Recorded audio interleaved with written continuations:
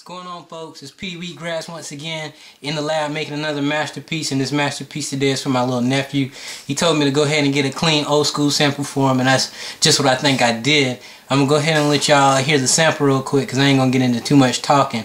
Also, it's pre-recorded. Well, the sample's going to be pre-recorded in there just because it's a lot of buttons to push. But I'm going to get straight to it. Alright, so here's the sample.